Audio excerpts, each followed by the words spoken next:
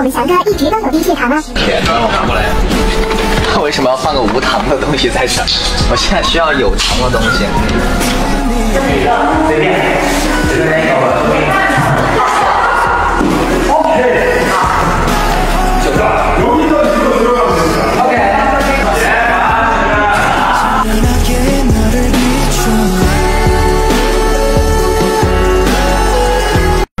这些画面真的觉得前面有点过分。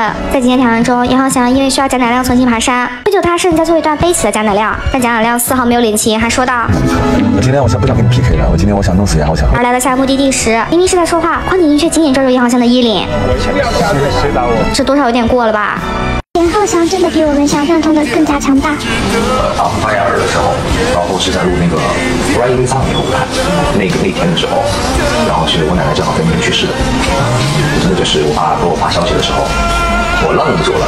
那时候在那个呃做事情嘛工作嘛，呃，所以我得那个调整自己的状态，然后去完成那个舞台。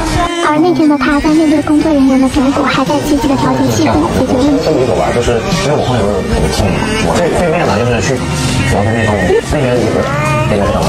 不要哭，我哭死。以为的严浩翔唱情歌。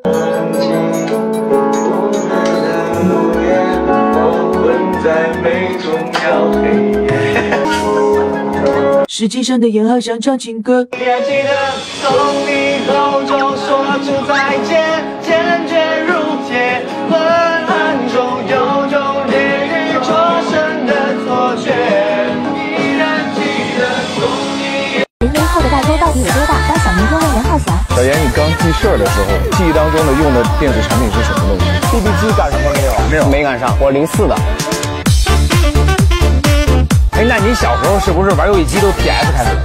你玩过黄卡吗？黄卡是什么呀？FC 他肯定没玩过。小霸王实在是太老了？那是九十年代初了。黑卡玩过吗？悠悠白书。我第一个游戏机是 Switch。哇！Switch 在我们那个年代看起来就是网没有这个这个东西。好像比较 Game Boy 嘛，Game Boy 是 Switch 的祖宗。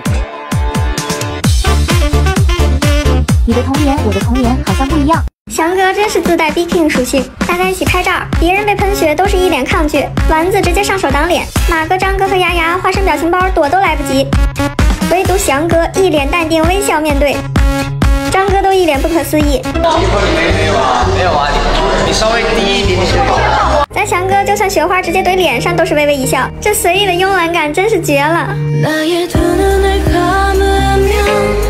真的有被杨翔这段帅到，明明是要给母亲写下自己的心意，却被士大夫一直说道，并不想和跟你们分享的，并不想和跟你们分享的。继续拒绝，还仍然不死心的说，那你这个你又没有跟我们分享，只有你知道。而杨翔丝毫不惯着，直接反怼，那就我那就我一个人知道吧。我说时代峰峻，你别。